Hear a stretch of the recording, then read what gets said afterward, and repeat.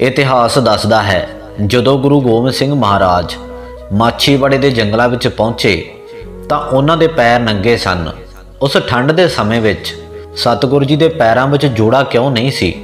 ਆਓ ਜਾਣੀਏ।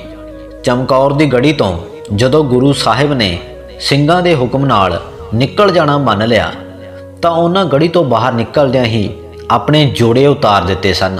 ਸਿੰਘਾਂ ਨੇ ਬੇਨਤੀ ਕੀਤੀ ਕਿ ਠੰਡ ਬਹੁਤ ਹੈ। ਰਸਤਾ ਕੰਡਿਆਂ ਵਾਲਾ ਹੈ। ਇਸ ਲਈ ਕਿਰਪਾ ਕਰਕੇ ਜੋੜੇ ਪਾਈ ਰੱਖੋ। ਤਾਂ ਇਸ ਦੇ ਉੱਤਰ ਵਿੱਚ ਗੁਰੂ ਸਾਹਿਬ ਨੇ ਫਰਮਾਇਆ, ਅੱਗੇ ਜੰਗ ਦੇ ਮੈਦਾਨ ਵਿੱਚ ਮੇਰੇ ਸੂਰਮੇ ਸ਼ਹੀਦਾਂ ਦੀਆਂ ਪਵਿੱਤਰ ਦੇਹਾਂ ਪਈਆਂ ਹਨ। ਜੰਗ ਕਰਦਿਆਂ, ਡਿੱਗਦਿਆਂ ਕਈਆਂ ਦੀਆਂ ਦਸਤਾਰਾਂ ਉੱਤਰ ਗਈਆਂ ਹਨ। ਰਾਤ ਦੇ ਹਨੇਰੇ ਵਿੱਚ ਹੋ ਸਕਦਾ ਹੈ ਕਿ ਮੈਥੋਂ ਕਿਸੇ ਸਿੱਖ ਦੇ ਰੋਮਾਂ ਉੱਤੇ ਜੁੱਤੀ ਰੱਖੀ ਜਾਵੇ। ਤੇ ਇਸ ਤਰ੍ਹਾਂ ਮੈਂ ਉਹਨਾਂ ਪਵਿੱਤਰ ਸ਼ਹੀਦਾਂ ਦੇ ਪਾਵਨ ਰੋਮਾਂ ਦੀ ਬੇਅਦਬੀ ਕਰਨ ਦਾ ਭਾਗੀ ਨਹੀਂ ਬਣ ਸਕਦਾ, ਜਿਨ੍ਹਾਂ ਕੇਸਾਂ ਵਿੱਚ ਅੰਮ੍ਰਿਤ ਦੇ ਚਿੱਟੇ ਲਗਾ ਕੇ ਪਵਿੱਤਰ ਕੀਤਾ ਗਿਆ ਹੈ। ਉਹਨਾਂ ਨਾਲ ਜੁੱਤੀ ਛੂ ਜਾਵੇ, ਇਹ ਮੈਂ ਕਿਵੇਂ ਬਰਦਾਸ਼ਤ ਕਰ ਸਕਦਾ ਹਾਂ? ਇਸ ਲਈ ਕੇਸਾਂ ਦੇ ਸਤਕਾਰ ਨੂੰ ਮੱਦੇ ਨਜ਼ਰ ਰੱਖਦੇ ਹੋਏ ਮੈਂ ਜੋੜੇ ਨਹੀਂ ਪਾਵਾਂਗਾ।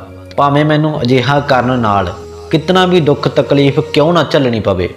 ਇਸ ਕਰਕੇ ਹੀ ਗੁਰੂ ਗੋਬਿੰਦ ਸਿੰਘ ਮਹਾਰਾਜ ਨੇ ਜੋੜੇ ਨਹੀਂ ਸੀ ਪਾਏ। ਅਤੇ ਨੰਗੇ ਪੈਰੀ ਉਹ ਉੱਥੋਂ ਨਿਕਲ ਗਏ ਸਨ। ਸਰਦੀ ਦੀ ਰਾਤ ਸੀ ਅਤੇ ਕੰਡਿਆਂ ਵਾਲੇ ਜੰਗਲ ਵਿੱਚੋਂ ਨੰਗੇ ਪੈਰੀ ਚੱਲਣ ਨਾਲ ਉਹਨਾਂ ਦੇ ਕੋਮਲ ਚਰਨਾਂ ਨੂੰ ਜ਼ਾਲਮ ਕੰਡਿਆਂ ਨੇ ਛਲਣੀ ਕਰ ਦਿੱਤਾ। ਪਰ ਇਸ ਤਕਲੀਫ ਨੂੰ ਉਹਨਾਂ ਬਿਲਕੁਲ ਅਣਗੌਲਿਆ ਕਰ ਦਿੱਤਾ।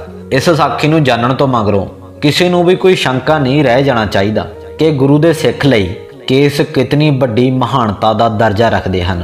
ਜੇਕਰ ਤੁਹਾਨੂੰ ਇਹ ਵੀਡੀਓ ਵਧੀਆ ਲੱਗੀ ਹੋਵੇ ਤਾਂ ਇਸ ਚੈਨਲ ਨੂੰ ਸਬਸਕ੍ਰਾਈਬ ਤੇ ਵੀਡੀਓ ਨੂੰ ਲਾਈਕ ਜ਼ਰੂਰ ਕਰ ਦਿਓ ਤੇ ਦੋਸਤੋ, ਇਸ ਵੀਡੀਓ ਨੂੰ ਅੱਗੇ ਸ਼ੇਅਰ ਜ਼ਰੂਰ ਕਰਿਓ।